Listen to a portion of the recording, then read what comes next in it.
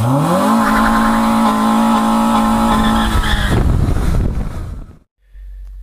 Alright, so today I'm going to show you how to uh, retrieve the OBD1 codes on your uh, Honda. Well, this particular car is a 95 Honda Civic and it is OBD1.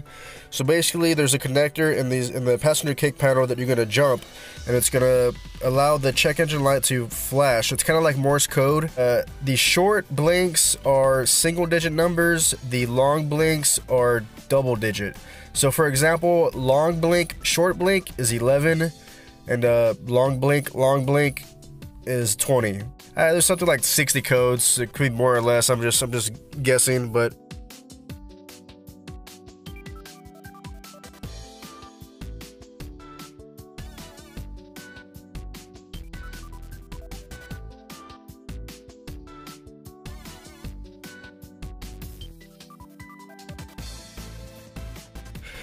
Alright, first thing you're want to do, uh, turn the key forward, and you can use anything to jump your connector. It's actually located in this 95 Civic. It's actually tucked into this carpet right here.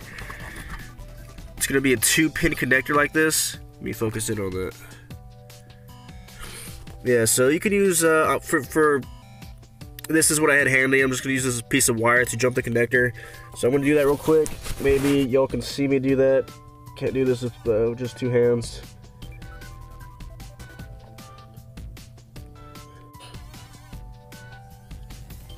Uh, so right there, the connector is jumped, and right now it's already proudly flashing. So let's let's see what it says. Okay, I don't know if you caught that, but it blinked four times really fast. One, two, three, four. So that's that would be considered short blinks, and uh, it's pretty interesting. The OBD1 computer actually stores codes. Your check engine light doesn't have to be currently on to have a code uh, a code stored in the computer. Yeah, so uh, four blanks, that's actually for the crank position sensor. And on these OBD1 cars, that's actually located inside the distributor. So that's going to be a future video for you guys. But uh, thanks for watching. If you liked the video, please like and subscribe, and I'll see you on the next one. Thanks for watching.